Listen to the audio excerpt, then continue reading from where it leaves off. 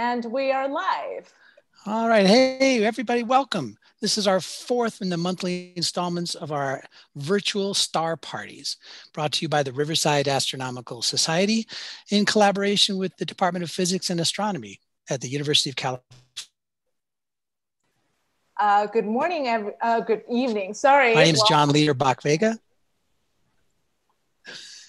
My name is John Liederbach Vega, I'm the director for the outreach program at the Riverside Astronomical Society.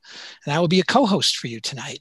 I am not a professional astronomer by any means, but it is a hobby of mine that I've had for 30 years or so. And uh, I am broadcasting to you from my home in the city of Riverside. Sinan?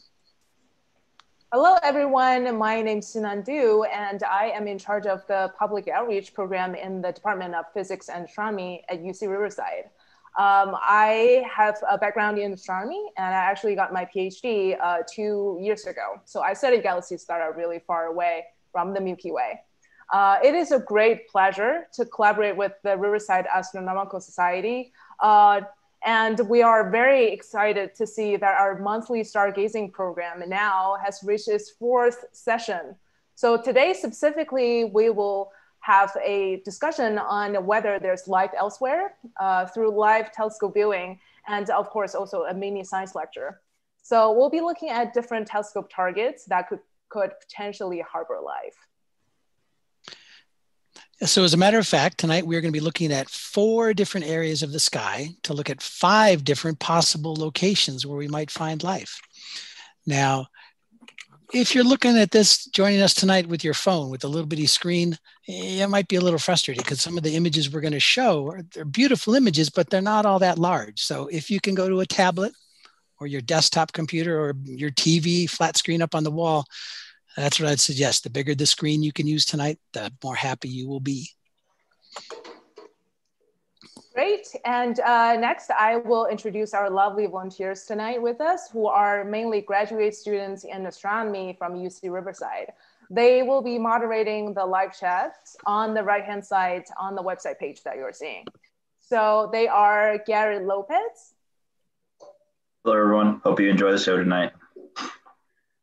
Jess Doppel. Hello. Yongda Zhu. Hi, everyone. And Mingfeng Ho. Hello.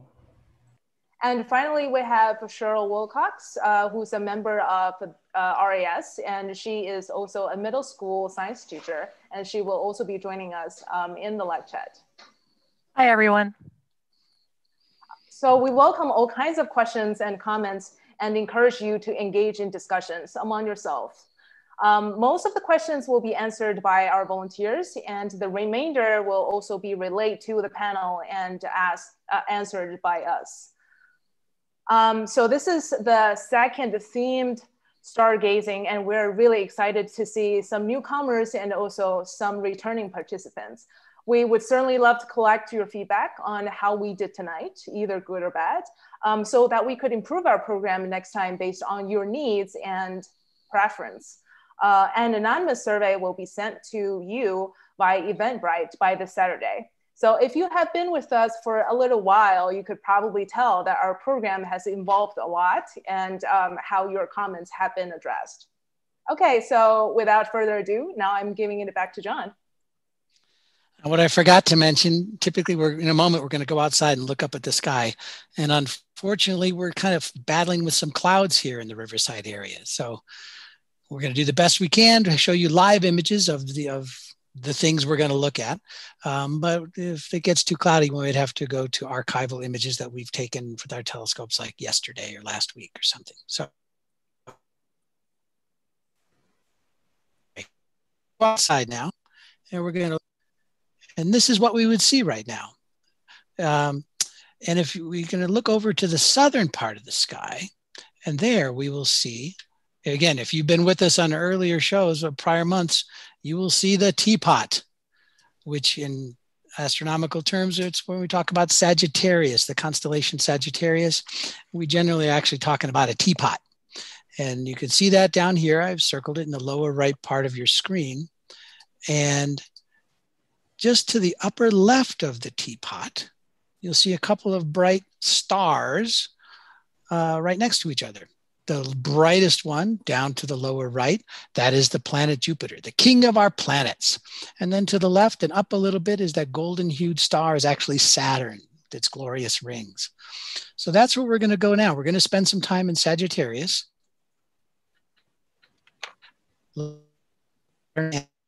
But not actually, not so much looking at the planets, is really we're focusing on their moons because their moons are maybe places where there could be things living. And so we're going to check those out. So without further ado, we're going to go to Jose, who's going to talk to us about Saturn. Take it away, Jose. Yes, good evening, everybody. My name is Jose Castro, and I am here in uh, uh, Moreno Valley, California. I'm in my backyard, and I'm also uh, an astronomer wannabe. Uh, and I'm going to share with you guys, this is an image of the planet Saturn that is going live at this very moment. We have a, a faint clouds that are passing in front of the planet and uh, it's a little bit distorted, uh, but we still can pick up a couple of the moons that we uh, are gonna be talking about. One of them being the moon Enceladus. Uh, it's, it's, it's been uh, um, theorized by scientists that Enceladus might be a moon that could uh, harvest life because it seems to have a lot of water. It is an icy moon. Uh, one of our probes uh, that went through it um, detected some nice plumes of, uh, of something. And they decided to do a little bit of um, uh, exploring there. And they found out that it was, um, hold on, I got um, my, my screen here having a little bit of problem here. Why can I not? Let me see. Sorry about that. I lost my screen here. Um, okay. Let me, okay, let me go back here and try it again. Um, this one here. Can you guys see that? The, uh, the image of the moon of Enceladus? Can we see your screen? Yes. Oh, okay, so you, you can see that, right? Okay, yes. so um, right now, what we are theorizing is that the, the, the moon Enceladus, which is covered by ice, it holds underneath a really, really vast amount of water. And they detected these plumes as the Cassini probe went by, and they did some uh, interesting discoveries about uh, different um, uh, possibilities of microorganisms that might be present there.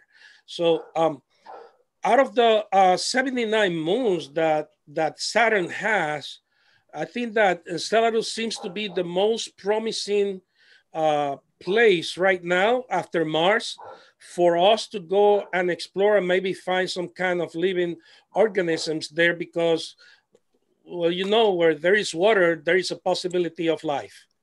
Uh, John? Great, thank you. So, Sinan, do we have any chat room activity that we need to deal with? Sorry, uh, I was muted. Not yet, and uh, we welcome all kinds of questions in the in the live chat. All right, then we're going to stay up there with Sagittarius. We're going to stay up there with the land of the giant planets, and we're going to head on over to Jupiter. Again, brighter than Saturn in our sky, easy to see with your naked eyes. You do not need binoculars or a telescope to see either of these guys. They are bright. Uh, so, without further ado, we're going to leave Saturn, go to Jupiter. And again, not so much Jupiter, the planet, but the moons of Jupiter. So, Manny, take it away. Thank you, John. So, uh, my name is Manny Lyons. I'm coming to you from beautiful but a little smoky Mariposa, California, a little bit west of Yosemite National Park. And uh, you can see my observatory back here. My uh, telescope is trained on Jupiter, as John mentioned. Um, I've been an amateur astronomer for a really long time, probably over 30 years.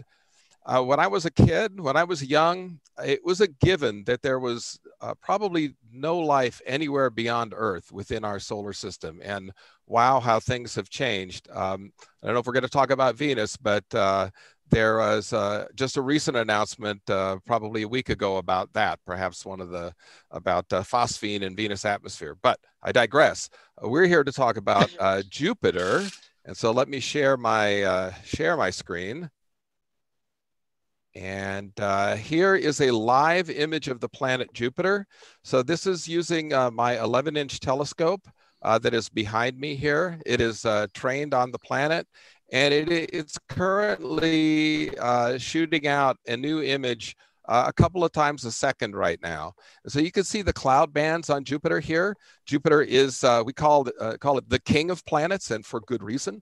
It is not only the largest planet uh, in our solar system, but if you took uh, all of the mass of all of the planets, moons, asteroids, comets, everything there is in the solar system, and you added them all together, uh, they would not even amount to half the mass of Jupiter.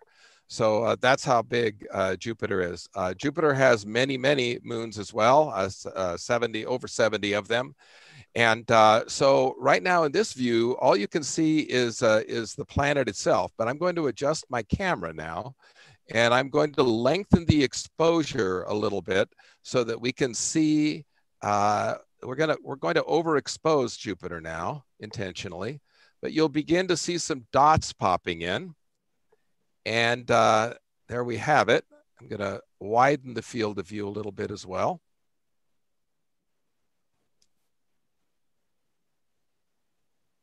Uh, there we go. Eventually, okay. I don't know that that's wider, but let me let me see if I can make my screen a little bit bigger. Okay, there we go. There we go. Yeah. So uh, so here we have uh, three uh, three moons. Now, uh, some of you might that are familiar with the Galilean moons uh, would go, wait a minute, wait a minute, aren't there four? And uh, yes, there are.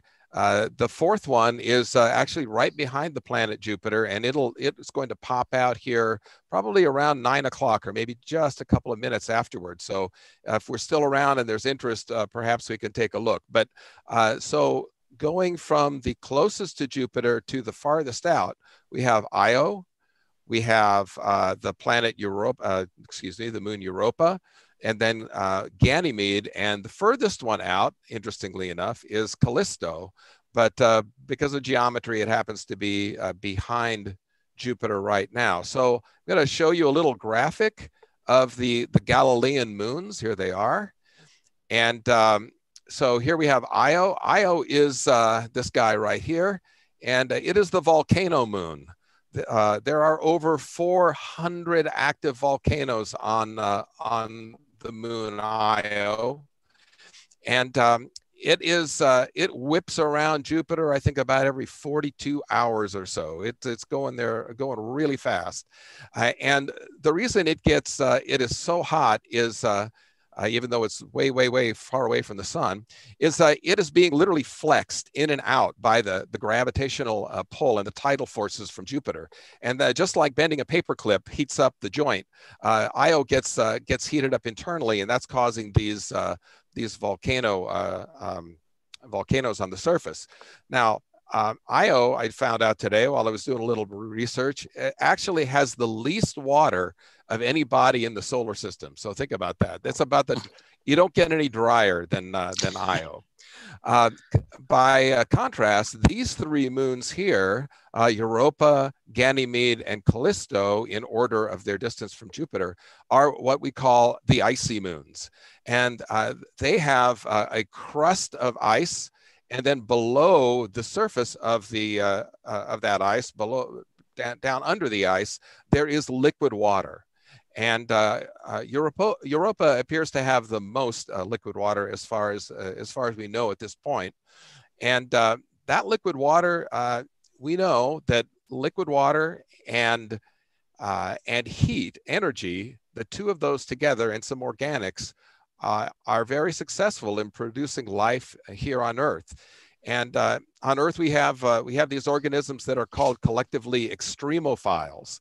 Uh, they're uh, uh, organisms that can live in extreme environments, and um, Europa would certainly be one of those. So if you can think of, perhaps there are hydrothermal vents under Europa, the surface, like there are on on Earth. Uh, maybe we have giant 20 foot tube worms uh, on uh, on Europa. That would be both uh, exciting and terrifying at the same time. So, um, but we don't know.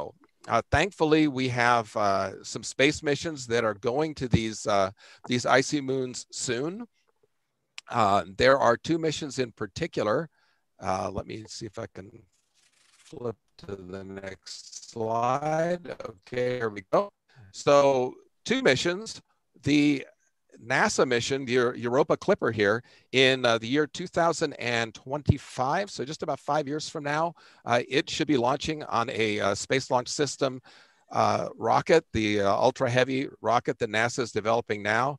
It will get to uh, the, the to Jupiter in about two years, and it will be put into a looping orbit that goes around Jupiter and then whizzes by Europa uh, 45 times and then goes through this orbit around Jupiter and then back around uh, Europa again and again and again. And it'll be taking lots of data. One of the most exciting things is recently there's been a discovery of water plumes, uh, liquid water coming off the surface of Europa. And there is the potential that the Europa Clipper could literally fly through those plumes and sniff them for organic materials. So that would be very exciting. Uh, the second mission that is going to the Jovian system is JUICE, which is the Jupiter Icy Moons Explorer, I think it is. That's the European Space Station Agency mission. It's going to uh, launch a little bit sooner in 2022, but it will get there later because it's going on a not uh, quite so powerful rocket. So uh, probably we're looking at uh, 2029 or so before um, the JUICE orbiter arrives. Now, JUICE will be orbiting the, the moon Ganymede.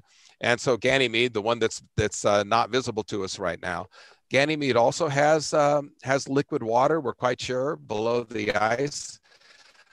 So uh, the interesting thing, exciting thing is uh, that um, the JUICE orbiter will spend quite a bit of time around Ganymede and be able to take long-term uh, data, images, etc there, but it'll also be able to look at the other icy moons and gain uh, uh, some knowledge about them as well. So uh, very, very exciting things ahead in the next few years with respect to the search for life around Jupiter.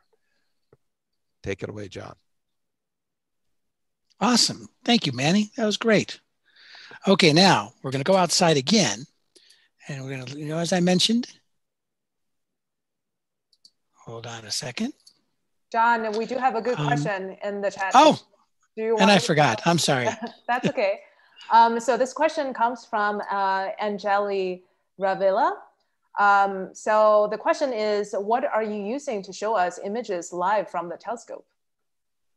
Ah, okay. I have a um, I have a cooled astronomical camera, which uh, uh, I'm not sure that you could see it. It's actually right back here. This little uh, red cylinder here.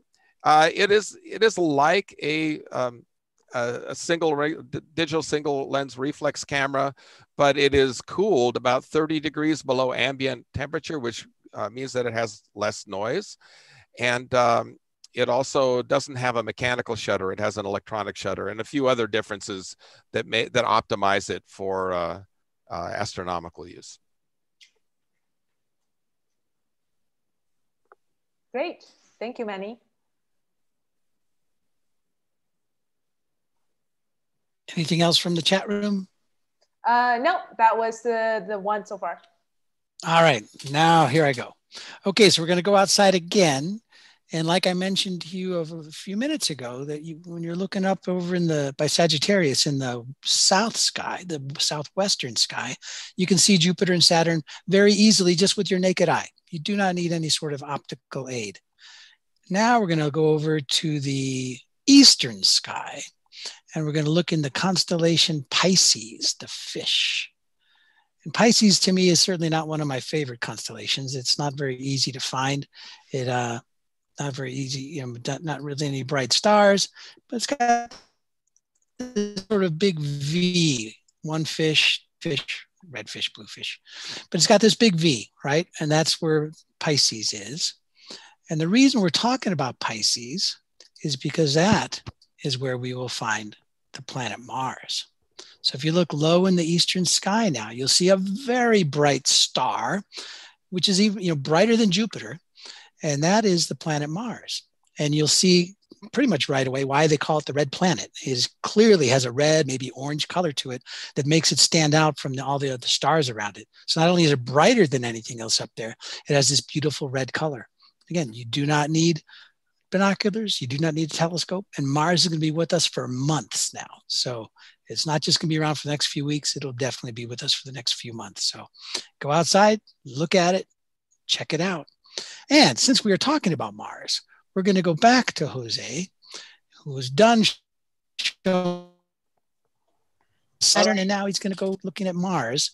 And case we're not looking at the moons of Mars, we're looking at the planet itself as a place where maybe life could be. Jose, take it away.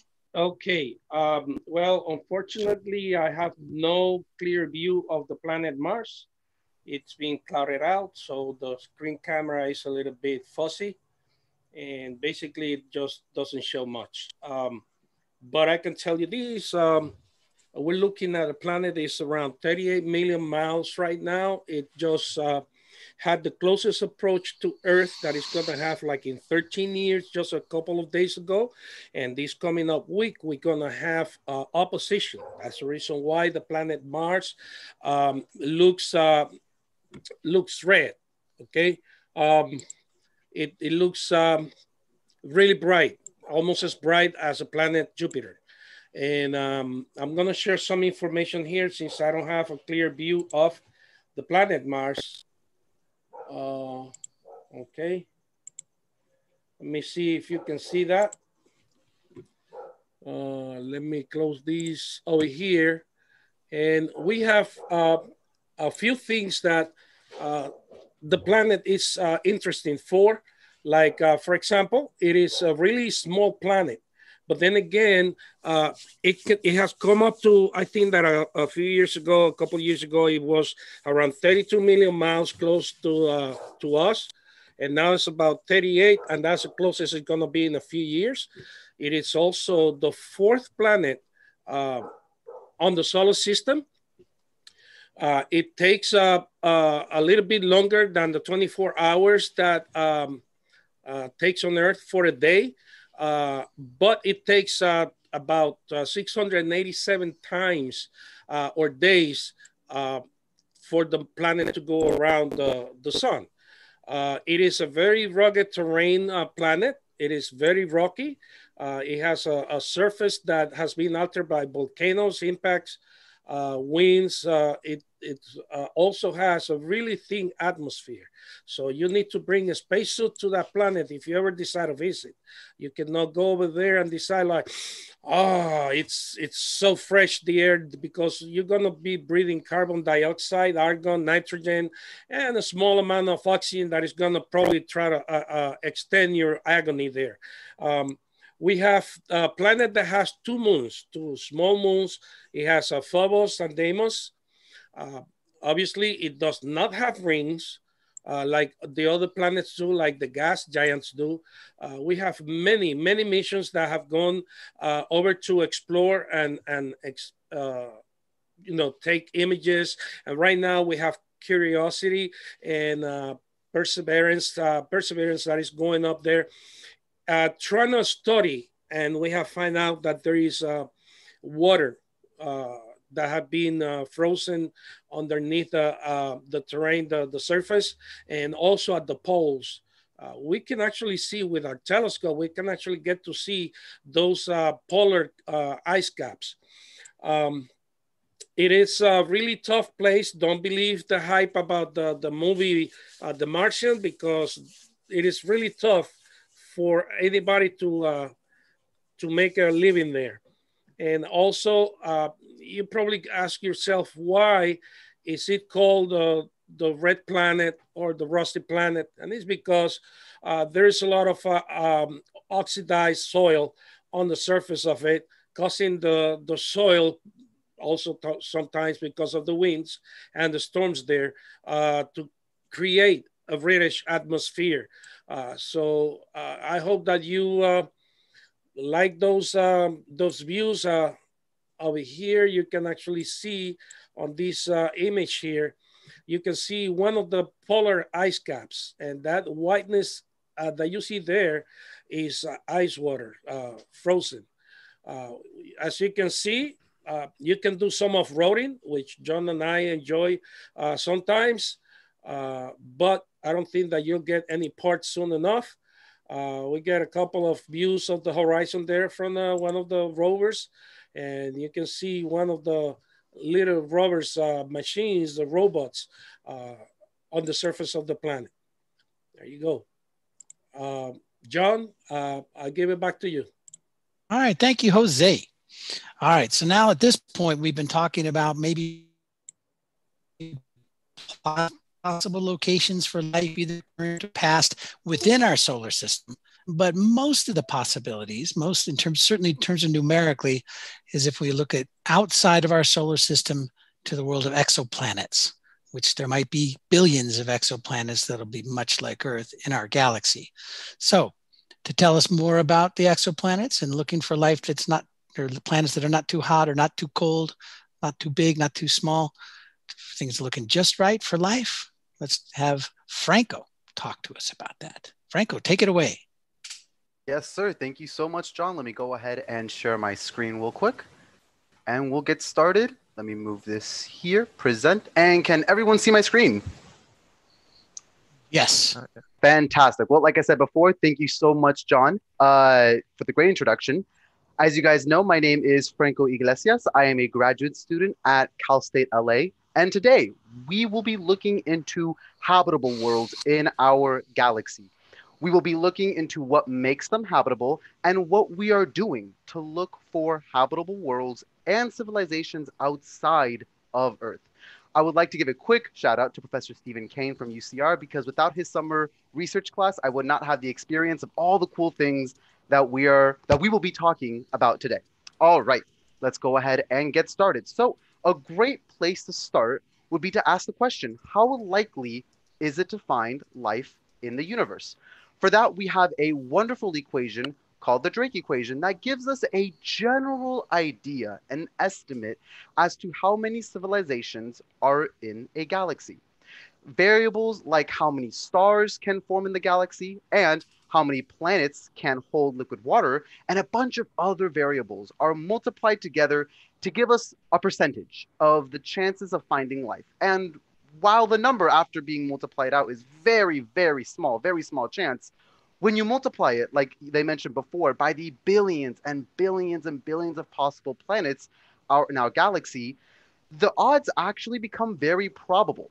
Of course, this is just an estimate. Like I said before, there's no real guarantee to this number. However, it does definitely set up our understanding of what to look for. And with that, we're going to shift from theoretical to more observational things that we can do to look for life. So, now let's start talking about what kind of star is the planet orbiting. The best kind of stars that have the best chance for life typically are stars in the main sequence, not too big like your supergiants and giants over here, and not too small like your red, white, and, and uh, red, white, and brown dwarfs. We also want a star that has a long lifetime rather than just a couple of you know hundred of thousands of years. We want a star that can live for billions and billions of years, like our sun. Our sun is a main sequence star right in the middle that's currently roughly 5 billion years old. We also want a star that has plenty of heavier elements like carbon, nitrogen, and oxygen. These elements are very, very important for life, and currently, we don't know if life can exist without them. All right, it's very important to note that most stars are not alone most stars typically have a buddy or two that orbit each other in what's called a multi star system. We aren't too sure yet if multi star systems have better or worse chances of having life since more research needs to be done. But multi star systems do introduce a level of instability for planets that orbit multi star systems. All right, next we will jump into how far away a planet is from its star. The habitable zone, also known as the Goldilocks zone, is a space in between not too far and not too close to the host star. This allows for liquid surface water to exist on the planet. Liquid surface water is very, very important to discovering life since Earth, the only planet that we know that has life, also has liquid surface water. Now, typically, the brighter the star, the wider and farther away the habitable zone will be. And this habitable zone does evolve over time. Mars will be in the sun's new habitable zone in a couple of billion years, where, as Earth, will be much too close to the sun to sustain life. All right, jumping into the next slide. Now we have what kind of planet or moon, emphasis there, is best for life. Most planets have some sort of energy source, either it being solar energy from the star, the internal heating of the planet, in, I'm sorry, rather inside the planet, or both. The moons of Jupiter, as we talked about earlier, mostly get their energy from the internal heating caused by the gravitational tugging of the planet Jupiter and the other moons near its orbit. Uh, again, I believe Manny was the one that talked about that earlier. We also care if the planet is gaseous planet like Jupiter or a rocky planet like Earth.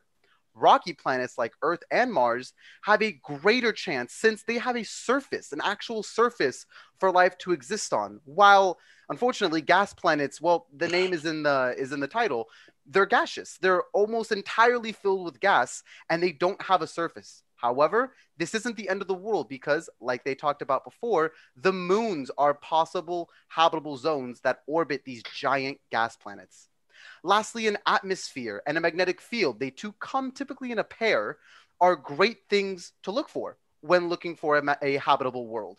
Although it's not the end of the world if a planet doesn't have an atmosphere. The moon Europa of Jupiter doesn't have a thick atmosphere, but instead has an underground ocean, like we talked about earlier, where life can exist underneath the crust of said moon. All right. Lastly, let's talk about what we have been doing to look for life, starting with the easiest looking for water. As mentioned before, water is a great, great indicator for life. And we already know some objects in our solar system that have possible underground water like Europa, Enceladus, and even just recently announced, I believe two weeks ago, Mars having underground lakes. Another way to look for life is to look for basic forms of life and what they give off. Just recently, again, I know we're getting a bunch of news like in the past month or so. Venus, of all planets, was discovered to have a compound called phosphine gas, which is a great indicator for small basic life. Although, don't get too riled up yet a lot more research needs to go into Venus before we declare we found life on Venus. Uh, finally, the organization SETI, Search for Extraterrestrial Intelligence, are dedicated to looking for not basic, but intelligent life. Using radio telescopes like this one here, Arecibo in Puerto Rico, they were able to send a coded message to a globular cluster, which is just a bunch of stars grouped up together, to see if there's any intelligent life there. NASA themselves have also sent golden record discs on board of Voyager, a satellite that we sent outside, to see if anyone runs into them and if they're willing to decode it. All right, that concludes this presentation. I hope everyone enjoyed that. And now I will hand the mic right back to John. Great, thank you, Franco. That was terrific. All right, oops. Whoa. Okay, so I was negligent before when we were talking about Mars and such to stop and ask for questions from our chat room that we can address. So, Sinan, what do we have? Uh, we actually have a lot of questions, and I think this is awesome. which, uh, this is a, a, great place to, to answer them. So, uh, question from Wondering Teacup: Did Mars ever have a thicker atmosphere? If yes, uh, do, uh, is there a theory on what happened to it? I can take that one if uh, no one else wants to. Go ahead, Frank. Go for it.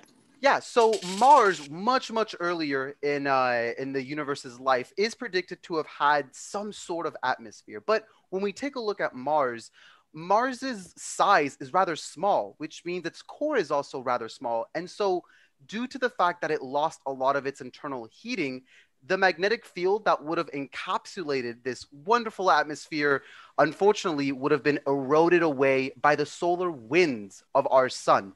Now we see mars as it is today uh, but earlier you're you're right it could have possibly had an atmosphere but unfortunately we're left with the red rusty planet.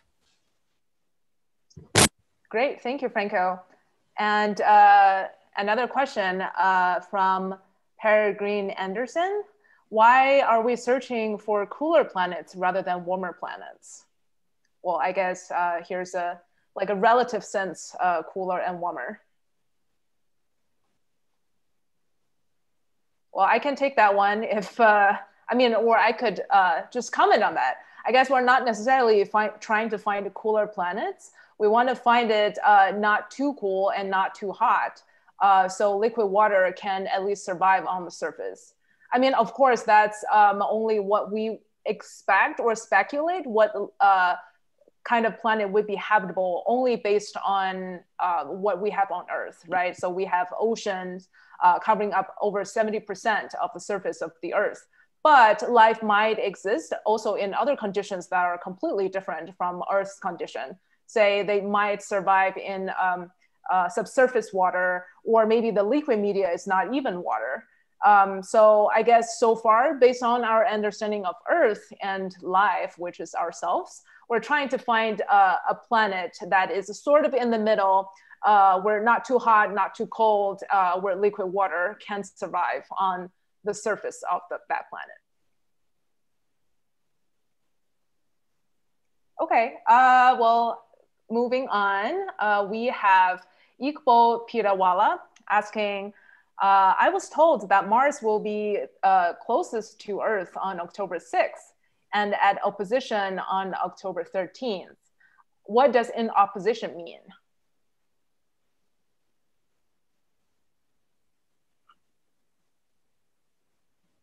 Oh, I'll take that one. So opposition. So we are orbiting around the sun on Earth. Mars is orbiting around the sun as well.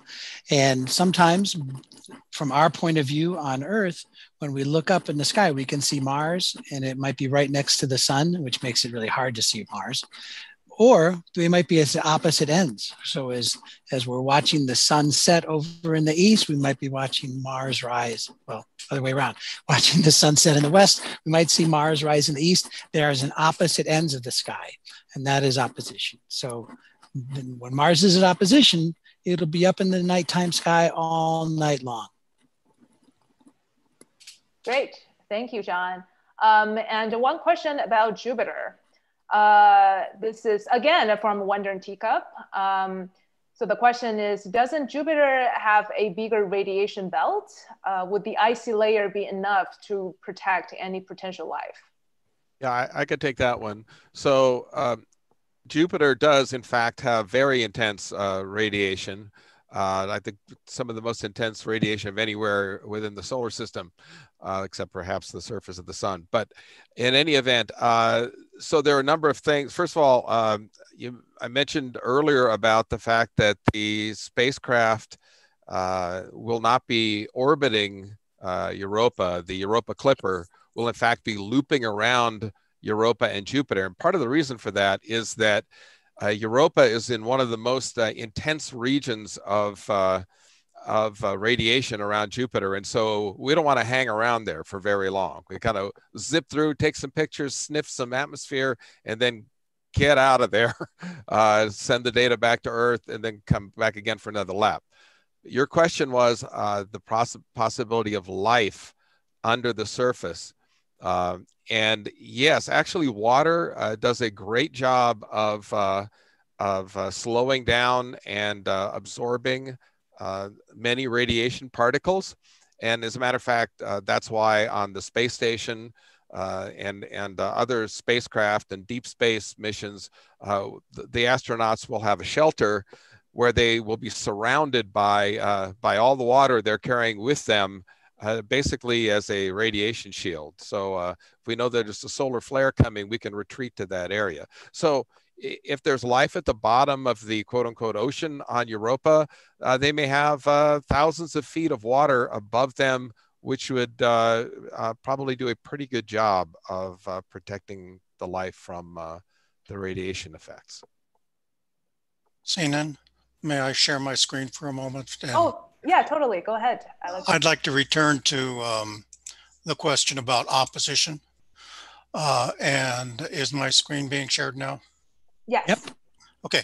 Um, I have a presentation I have to give tomorrow that is of interest to people that uh, would, would help us answer some questions here tonight. Um, you have to understand that at all times we're all going around. And as you can see, the earth is sometimes like we're at opposition to certain things. Let me go on to the next slide here. Uh, there, then two slides from now. This is the position of the sun, the earth, and Mars right about now as we all circle around here. And remember when we were looking when we were looking from here at Jupiter, it was off to the right. And now the the Mars, one of the reasons Jose was having a tough time getting it, well, besides the clouds, was that it was just rising above the um, just rising above the horizon. Well, remember the sun has just set uh, on the other horizon. See that there's a line between us and it. And uh, what is this? Uranus out here and Neptune out here. Uh, uh, Neptune is also at opposition. It is opposite the sun from us. Okay. Thank you. Thank you, Alex. John, now giving back to you. All right, we're going to go outside again and look up in the sky and not we're not looking to the eastern sky, we're not looking to the western sky or the southern sky, we're looking straight up. And if you were with us in prior editions of our of our presentation, this will be familiar to you. We're going to go back up and look for the summer triangle. So again, one of the brightest stars in the sky. You go out there, unless it's cloudy, you look up in the sky. One of the brightest things high overhead is Vega in the constellation Lyra. And if you take a uh, take a go from Vega to Cygnus the Swan, which we talked about before, the tail feathers of Cygnus the Swan, well, that's Deneb. And then you go way down here to Altair, which is part of the constellation Aquila, the eagle, and then connect back over to Vega. You've created the summer triangle which is one of those things you can go out and just find tonight. No, no binoculars needed.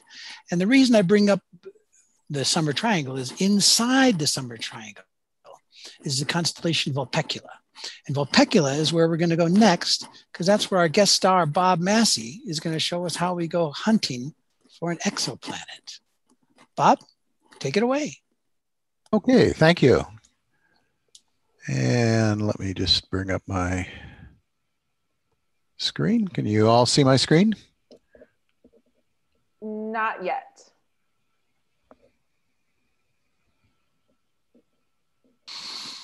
Hmm. Oh, well, you know what? I know why. There's one more button. Okay, there, there we goes. go. all right, we're up. You click on the screen and then you have to click on one more button. All right. Uh, thank you, John. Um, my name is Bob Massey. Uh, like the others, I'm a longtime uh, amateur astronomer, member of the Riverside Astronomical Society, and uh, I'm coming to you tonight from uh, my home in uh, Palm Desert, California, which is just on the other side of the mountains from Riverside.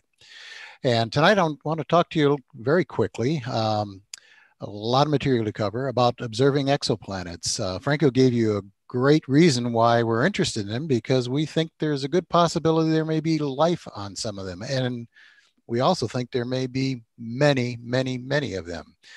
And uh, John has just given you a quick tour of the sky in the area of Vulpecula. And we're going to tonight look at a particular exoplanet. It's called uh, HD 189733 uh, b. Uh, doesn't mean much to you, I'm sure, right now, but I'll tell you a little more about that particular star and its uh, exoplanet in a, in a few seconds. Uh, the first thing, though, uh, I do want to talk to you about is give you an idea of uh, how do we uh, detect exoplanets. Um, there are several methods of doing it, and we don't have time to describe every one of them, but I'll talk about two of them in particular. Uh, the first one being direct imaging. Um, that's probably the most obvious, but it's not the most prevalent. Uh, direct imaging obviously involves looking at the star and looking for a planet around it. Sounds pretty simple, but it's not all that easy. Uh, in our diagram right here, there's a little black dot here this is covering the star. The actual star is all the way around here.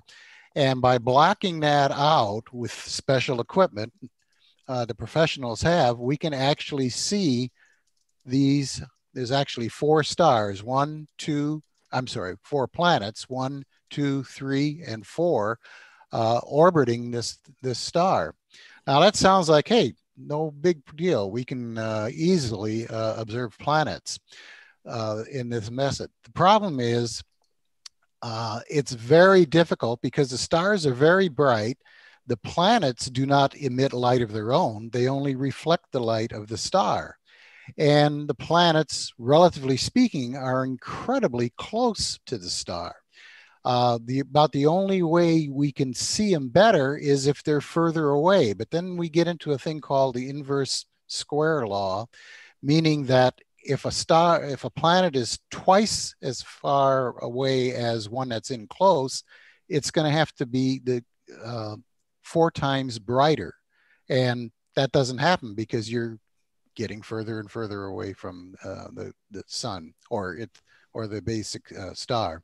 Uh, a good example that that I've uh, of how difficult this is that I've heard is if you think of the big searchlights that are at auto malls and so forth, and if you come up near one, and you can see all kinds of little flies flitting around that searchlight all, uh, back and forth. Pretty easy to see if you're right on top of that searchlight. Now put that searchlight on a big hill and go about 200 miles away and look at that searchlight. And you're probably not going to see those flies or those insects flying around there. That's why it's very difficult. As of six o'clock this morning, there were 4,000 284 confirmed exoplanets that we know of. Of those, only 51 of them have been discovered using direct imaging. So, what do we do if that's the case? Well, the most prevalent method is called the transit method. And this is similar to eclipsing. Uh, if uh, we're all familiar with how the uh, the uh, Earth, or, I'm sorry, the moon gets between us and the sun and eclipses the sun and it gets dark, right? Well, that same concept is called a transit. And what happens basically is that as a planet goes around its host star, and if we're looking at that star, we have a certain brightness, but if you look in the lower left hand corner, as it goes around, the brightness dips. And by that dip and several other things that we have to consider, uh, we can determine that there's an exoplanet revolving around that star. Now, once again, like, just like direct imaging, this is very difficult to do because um, the planet is very, very small. And as a result of it being extremely small, uh, the dip in the brightness of the star is, is minuscule. It's probably about one ten thousandths of the star's overall brightness. So it takes very sensitive equipment uh, to be able to uh, determine the, the brightness. So the method we're going to use tonight that we're going to show that even us amateurs can use is called this transit method. And in comparison to direct imaging of those 4,200 plus uh, exoplanets that have been discovered so far, over 3,300 of them have been discovered using the transit method. Tonight, we're going to look at HD 189733. This is the star right here. HD stands for uh, Henry Draper. Uh, that's a catalog. Uh, it's a catalog that was named after after him, and it was created uh, back in the early 20th century. Uh, approximately 200,000 stars, of which this is 189,733, and it's up in Vulpec, excuse me, Vulpecula. It's very close to us. It's only 65 light years away from us, which is considered very close. Um, it's about three quarters the radius of our sun. So uh, on the right is in relationship here is our sun, and to the left is HD 189 733. So it's it's similar to our sun. So theoretically, it should be to uh, from Franco's discussion, uh, it might host uh, habitable uh, uh, planets. So let's see if it, it does. Now our actual target is going to be the, the B designator in the 189733, and that's uh, this little blue globe here. This is obviously an artist uh, illustration because there's no way we could see this this closely. And it's what, what's called a Jupiter star size star. Uh, I'm sorry, size planet. And uh, by comparison, it's about 13% larger than our planet Jupiter. It's known as a hot Jupiter. And the reason it's known as a hot Jupiter, Jupiter, as you know, orbits relatively far away from um, our sun. But in the case of this particular planet, it is orbiting, and I apologize for this slide. I couldn't get a, a, a closer uh, or a better image of it, but here in the center here is, is our host star, and this little circle right here is the orbit of this Jupiter hot Jupiter uh, planet. It orbits every 2.22 days around the planet. So think about that for a second, every two days. And by comparison, if our sun was in this position, here's the orbit of Mercury, here's the uh, orbit of the Earth, and here is the orbit of Mars. Whoops, went one slide too fast here. And this little green area is uh, what uh, Franco re referred to earlier is the habitable zone for this planet. So for all practical purposes, based on everything we know about what we think life might be like, even in extreme forms, this is probably not going to be a planet itself that may host um, uh, any, any uh, life because it's well within the habitable zone. But again, we don't know for sure. And there could be some moons or something uh, orbiting around it. So that's what our target is for tonight. Um, we're going to go out to our uh, Riverside Astronomical Society's uh, dark sky site. And uh, we certainly hope to have you come out sometime soon when the conditions are better, the COVID conditions and so forth. Here's the telescope we're using, and um, this telescope is a 14 inch telescope. It's a reflecting telescope. The mirror is down here, the light, I'm sorry, the, the mirror is down here and the light enters up through here. And the camera is, is down here, similar to Manny's camera. It's a CCD camera. And uh, we're gonna be imaging th through this. So let's play a little uh, game here. Um, I'm gonna call Spot the Planet. All right.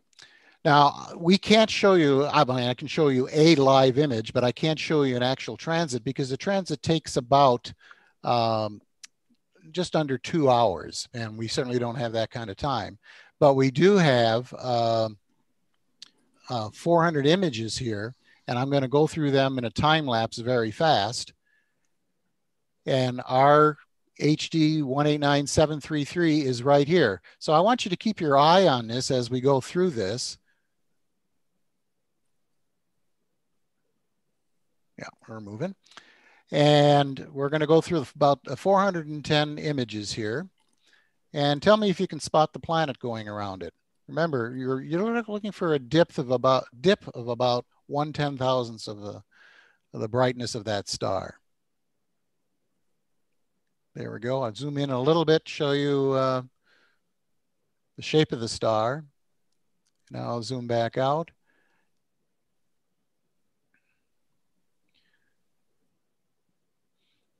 This uh, series of images actually ran for about four hours from about uh, 9.40 in the evening until about 1.30 in the morning. And the actual transit occurred around 10.30 till about midnight uh, 30. And if you'll notice, there's a lot of activity going on here. The star is getting brighter, uh, fainter, um, kind of coming in focus and out focus. And that's just an artifact of the atmosphere that we have to deal with. So we take those 410 um, images, and now the next thing we're going to do is, let me get through here, is plot our transit. And I'm going to switch uh,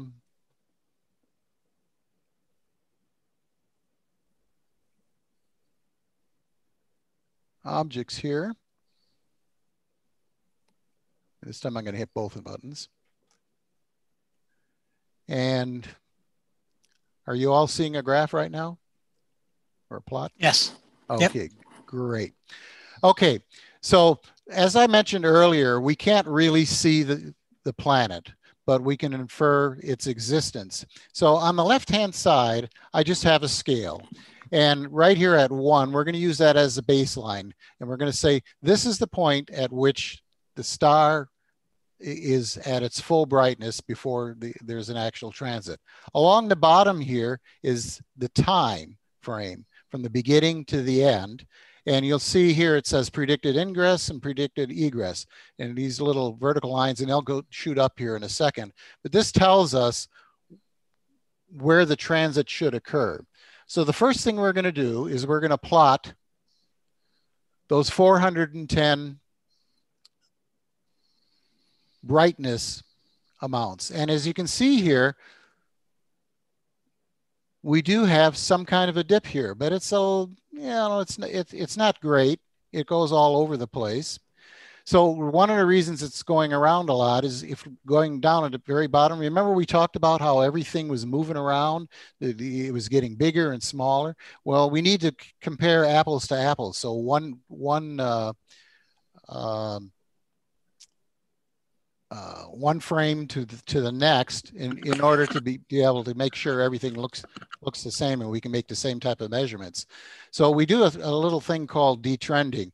Now, I'm not going to go into what all these little wiggly lines mean. The, the most obvious one here, this green line that's kind of a semicircle, is actually the air mass. As the star goes through the sky and our telescope is pointing at it, we're to, it's going to go through more or less air depending on how much, you know, where it is in the sky, how high it is in the sky, and that affects how bright that star is. And we want to rule all that out. So the next thing we do is we use a software called AstroImage J, or I use a software called AstroImage J, and it goes through there and it smooths out and takes all that information out of there. And Bob, can, sorry, yeah. but I don't think we are seeing your your cursor. Um, and it's uh, you're not well, seeing it here now. No, and there, there are also no light curves. Really? Oh, wait a minute. It says your screen sharing is paused. Why is that?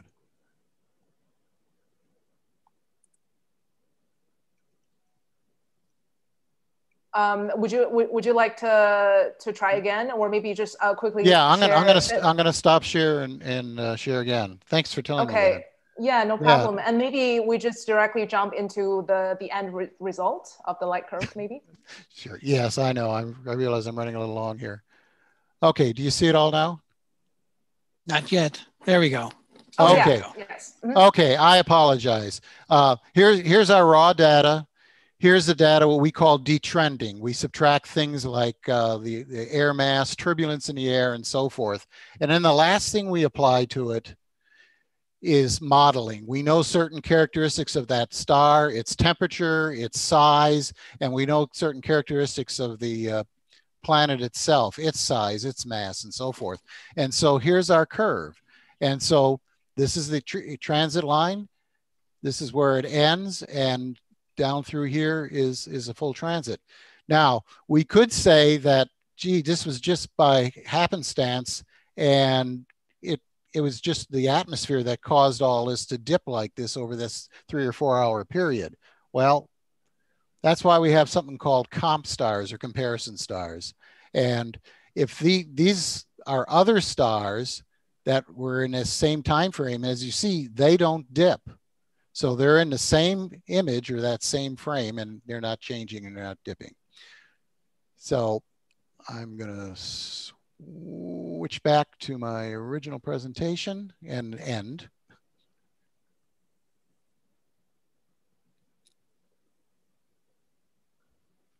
You can see that again. Yes. Okay. So I apologize for running a little bit long. It's a lot to cover in there, but the, the, the point is that as an amateur, you can participate and uh, if you have a telescope and you too can uh, Im image uh, exoplanets. They're not that hard to do. Uh, here's two quick resources. Uh, if you're new to this whole idea, excellent NASA JPL site, Exoplanet Watch. Um, they have a program uh, where they have software and uh, take you through the whole thing and, and allow you to uh, look at exoplanets. If you're a little more advanced or want to get a little more advanced, I highly recommend the American Association of Variable Star Observers. They have a lot of material and courses on exoplanets. And I apologize for taking so long, but there you go. Back, back to you, John. Um, that was great. Okay, now, do we have any questions coming out of the chat room for us? Yes, we do. And uh, before that, I also want to mention if you're interested in uh, any of the, the website or resources Bob just shared, uh, they're also posted in the YouTube comment section. So you can directly click on the link. Um, and we have a question from Alessandro, and this is a reoccurring question. Is Mars ice drinkable? I don't mind answering that. one. Okay, go ahead, Franco. Sorry.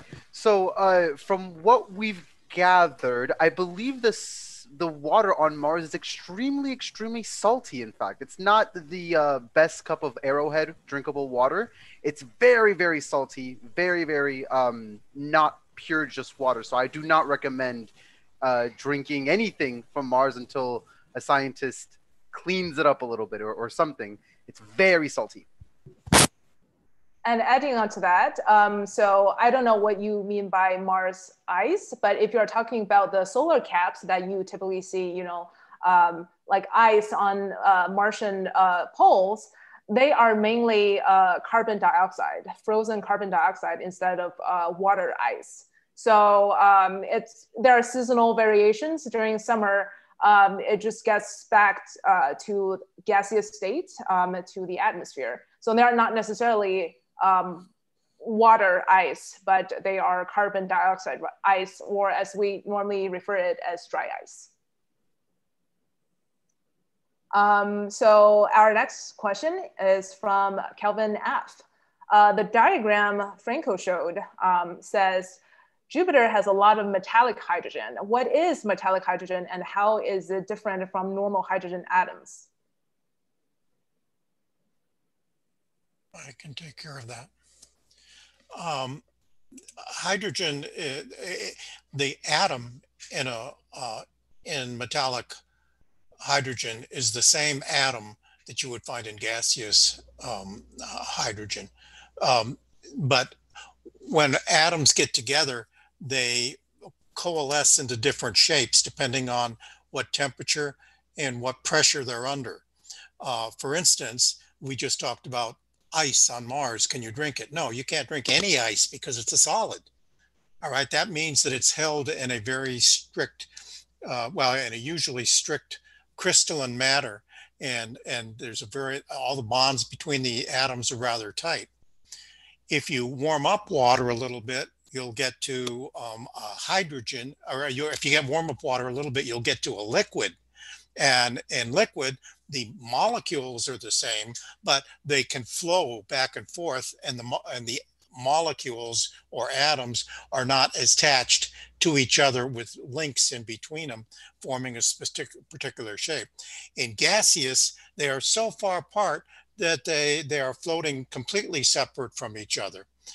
Metallic is not in itself a state of matter as liquid, solid, and gaseous is, um, but um, with metallic, uh, something that's metallic doesn't necessarily form a crystalline structure. Uh, the bonds between them, between the atoms, are not so strict that they that they can't flex as much.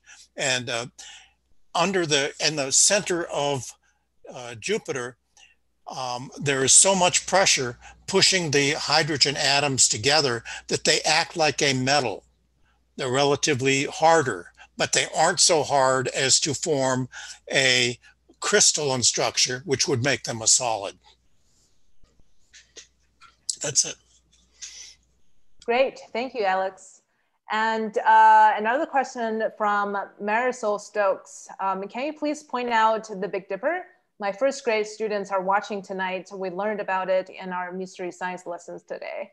Um, so John, maybe uh, we could point out yeah. that uh, sure. while we're introducing the, the next constellation. Yeah, let me go, let's go outside. And now the Big Dipper is in the northern sky. So we're going to spin the sky around a little bit. Now, let me get my little drawing tool out here. The Big Dipper is, is one of the things that's cool about the Big Dipper. It is always up in the sky. When you live here in, in the United States, you can always find the Big Dipper. Eh, sometimes it's down low in the sky, so it might be behind a mountain or behind somebody's house or trees. It has never, it never sets. So the Big Dipper, we look right now, would be low in the northern sky. The Big Dipper's got a handle, right? So we go here, down here, and then the Big Dipper's got a bowl down here, like that. And now the Big Dipper, like in the early evening, will be in one place. Like a few hours from now, it'll be higher in the sky. It is certain seasons during the year when the Big Dipper is easy to find because it's high in the sky, like after dinner before we go to bed. Um, other times after dinner before we go to bed, it's low in the sky, so it's hard to find. But that is the Big Dipper.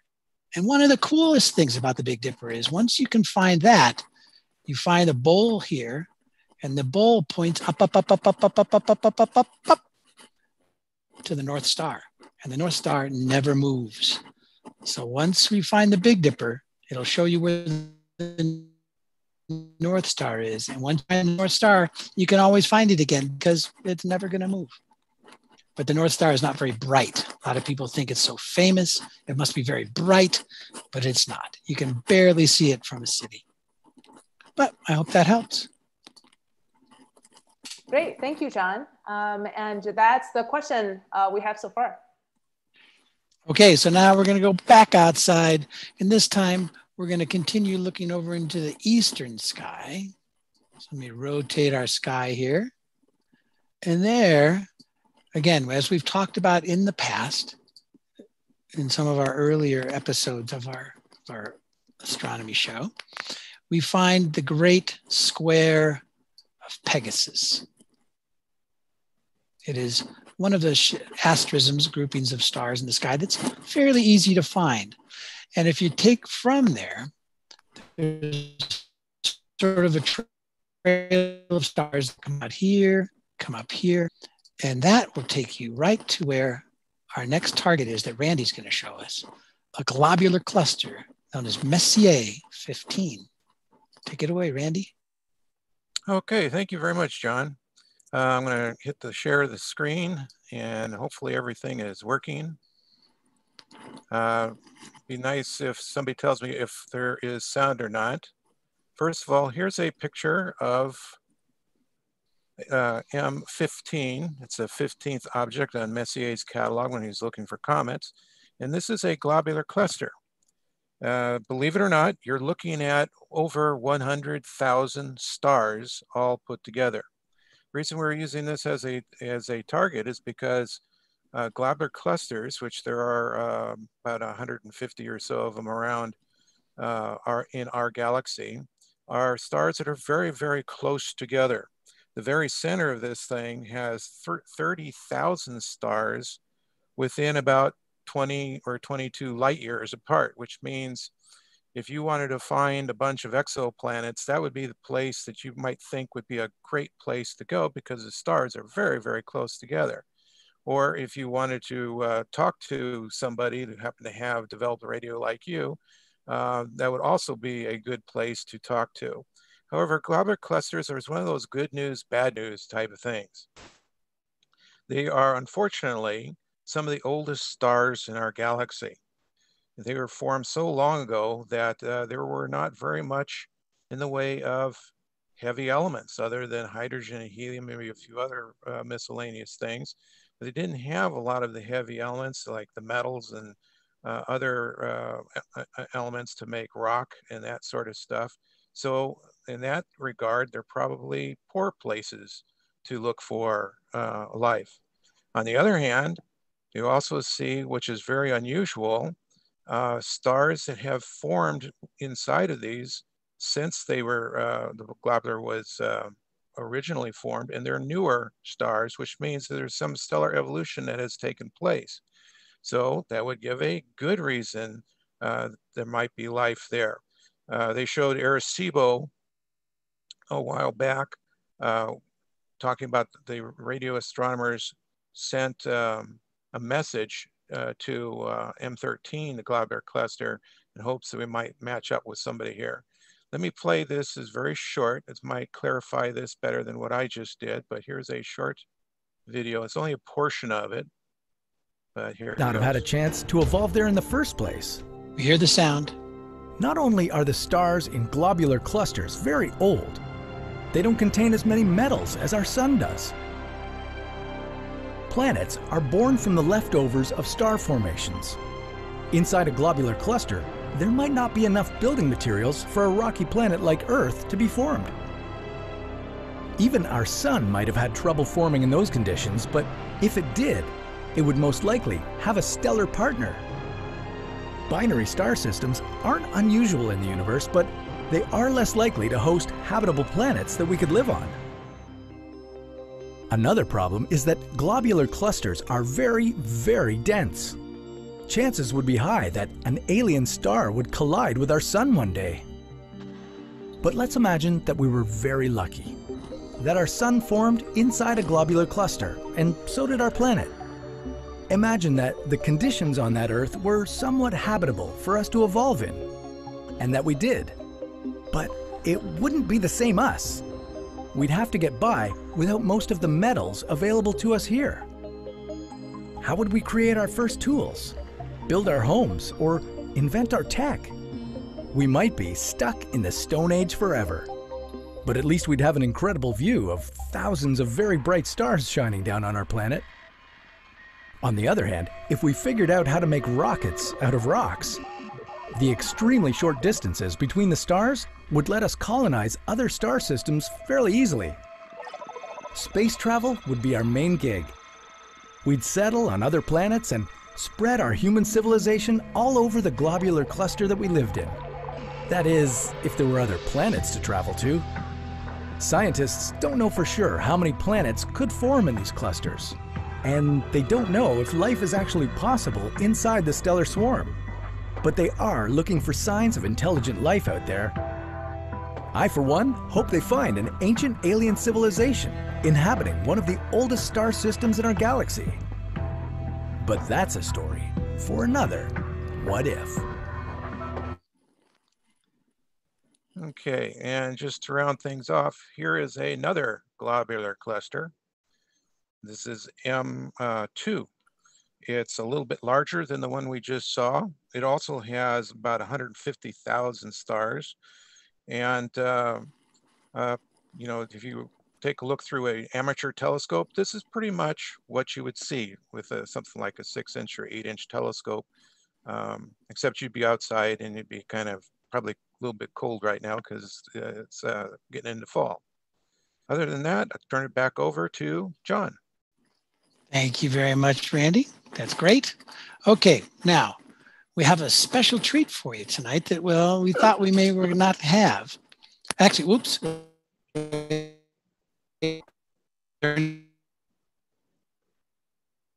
To none.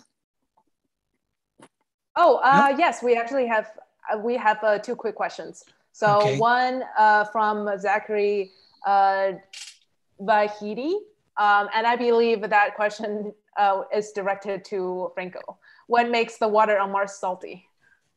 That's a great question. And since this information is very, very still new, it's not 100% certain as to the uh, the water, the underground lakes that we found in Mars using uh, the Mars Advanced Radar for Subsurface and Ionosphere Sounding, also uh, acronymized to MARSIS. Um, we aren't entirely sure yet, but the idea is that that the reason why these lakes survived even this long is partially, they think it's due to the fact that they may have formed after some underground volcanic activity warmed the area up around a million years ago. As the temperature dropped, natural salts dissolved in the water may have kept it from freezing, just like road salt keeps water from becoming ice. And but this isn't the same kind of table salt that we're used to when we like you know want to spice up our uh, our foods. Although salt isn't very spicy, um, the salt is more hypersaline perchlorate brine. So it's not something that you know you can kind of just rinse down like a like an infection when the doctor tells you to you know do a, a salt rinse. It's it's very strong stuff. So that's why i said that it wouldn't be fun to drink the salty water of mars. Great. Thank you franco. And uh, the next question I can take, uh, where can I sign up for the next virtual stargazing? Uh, that is a good question, and thank you for liking our program. Uh, so I will be sending out uh, the survey link uh, to you by this Saturday. And in the survey form, you will actually get a chance to sign up for our uh, mailing list. So thank you. And John, getting back to you. All right. So we are kind of running late here tonight, but we uh, earlier today we were hoping to be able to show you an image of Mars, and that wound up being sort of difficult because of the clouds and such. But it looks like we now can go live and show you an image of Mars. So again, remember over here in the lower left part of your screen in the eastern sky, there's that beautiful red bright star. And um, that, that we're gonna go back to Jose in his backyard observatory here in Moreno Valley and see what he's got to show us. So Jose, what do you got? All right, all right. Thank you for having me back. And I'm gonna see if I can show you uh, a live view of Mars. It isn't the great. It is not the great by any means, but it's uh, something that you can actually look at and you can actually see dark areas of the planet um, right here. Uh, again, uh, I'm looking through a little bit of uh, atmosphere turbulence and some uh, thin clouds, but you can actually make up dark areas in the center of the planet uh, and then you can see some bright areas on the on the edges outside. Now I don't have the camera properly aligned north, south, east, or west, so uh, I cannot make out exactly where is the north or the uh, south pole here is, and there isn't much detail. But I wanted to uh, at least have the chance of showing you guys what it looks like uh, from my point of view here in Moreno Valley, and uh, if it was a little bit higher, yes, we could probably have a little bit less uh, turbulence to go through here.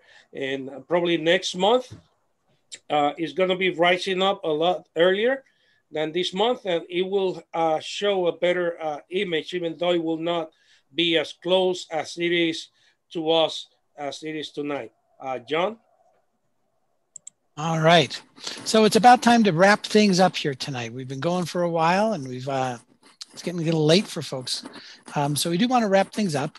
Um, very briefly, I want to put in a little plug for uh, my astronomical society that we've uh, talked a little bit about. And there's some, some of the resources we can go to uh, if you want to learn more about astronomy. A couple of excellent books, Night Watch by Terence Dickinson. It's really a good book for high school students and adults, all about the hobby and science of John, astronomy? Not seeing I it. don't think we're seeing seeing your oh, screen. Oh, hold on. All right, going to start again. All right, I don't know what happened there. Thank you. Better? Here you go. Yeah. We see the whole screen. We don't. All right. So some excellent. Uh, John, we cannot see. There you go. So we have A Child's Introduction to the Night Sky by Michael Driscoll, an excellent book for maybe elementary school children, all about the science and hobby of astronomy. Night Watch by Terence Dickinson is more for adults. Excellent view, excellent book. A couple of magazines you might want to think about if you want to keep up with the latest developments in astronomy. Sky and Telescope and Astronomy magazine. Pick those up at Border at excuse me Barnes and Noble. Um, some uh, website, skymaps.com. You can go there every month and download an excellent updated map of the sky. And Sky Safari, terrific app for your tablet or your phone. And then Stellarium, that's the program I've been using tonight to show you the sky. It's a free download for your computer, or you can go to the website uh, with your Chromebook and just uh, do a web-based program. We also I just want to mention that we do uh, AM from the Riverside Astronomical Society and uh, our, our, website, rivastro.org. Um, if, you, you might, if you're interested in astronomy, you might want to think about joining a club. And if you think about joining a club, you might want to join our club. Even if you're not from Riverside, you're still welcome to join. Um, Sinan? Yes, thank you, John. And now I am going to um, advertise for uh, the UCR uh, Astronomy Facebook page. So if you just type in uh, Astronomy UC Riverside, follow us and you will be getting all these uh, upcoming events that we're hosting the, the first moment that we schedule them. So you can see um, we have a lot of events coming up. So uh, yeah, and of course, uh, sign up to be on the email list if you have a chance to fill out the, the survey later. All so, right. Do plan on coming back together again, right? Yes. November uh, yeah, that, that's a good point. Um, so we are having our next session in November, and on November the 12th, it's uh, again a Thursday, and uh, we will be possibly doing binocular astronomy again at 8 p.m. Uh, Pacific Daylight Saving Time. Oh, maybe not daylight saving, standard time by then. So, uh, but still 8. And uh, yeah, so I guess um, I'd like to uh, thank everyone again for joining us today. And as mentioned, we would really appreciate your feedback if you could um, kindly fill out the short survey for us um, once you receive that email. So uh, any final thoughts, John? Well, I do. Okay, so I think we're going to look at officially closing down. But for those of you who want to stay for a few minutes, we now have the fourth moon available from from. Remember Galilean moons, of which only three were visible. Well, now the fourth one has peeked out from behind Jupiter, and Manny's willing to show it to us. So, right. if you want to stick out for stick around for a few more minutes, that'd be great. But uh, otherwise, we'll see you in November. But right. Manny, Want to take All it? Right, very quickly. Wait a minute. Okay, so here we are. Here's our live view of Jupiter. And uh, I'd like to point out, if you see this little uh, thing right here, so this was not visible before because uh, this is the what is called the Great Red Spot on uh, on Jupiter, and so this is a long-lived storm that was discovered uh, back in the 1600s when the telescope was first invented. And it, that storm is still going strong. It has gotten smaller in the last uh, few decades, but uh, I thought it's kind of cool that the, the planet has now rotated sufficiently to, uh, to show us the Great Red Spot. So I'm going to increase the exposure just a little bit here. We're going to blow out the planet, but now what you see here ah there it is, is another new moon this is the moon uh, callisto which has just uh, popped out i think i may have uh, said it wrong before it uh, uh, th- saying that it was ganymede but this is this is in fact uh, the moon callisto and this is io which we saw before i would have to zoom out further and you can see that the other two galilean moons are are down here i'll go quickly uh, okay, that freaked out the camera. Just a moment. Let's see if it's gonna, okay, here we go. And so now there we can see Io, Callisto, Europa, and Ganymede. All four of the Galilean moons have now made their appearance. Back to you, Joan. All right, that was great. Uh, thanks for sticking with that, Manny, to be able to show it to us. And whoever's still sticking around watching, glad you did. And hope to see you all. Do we have any questions we want to take before we uh, close things down, Sinan? Um, I guess there's just a quick question asking about the link for the November stargazing. Um, I guess as long as you either follow us on, on the uh, Facebook page or you sign up for our emailing list or, uh, you know, whichever way you know about our current event, you will always be hearing from us uh, for the upcoming events. So. And I just want to mention, if you have missed our prior few different uh, events, those are available to to watch on YouTube. You can go ahead and search for those and see what you missed. Or if you saw them, Yes, you want to see them again. Otherwise, that's a good point. All right. Have a good night, everybody. Thank you for joining us tonight.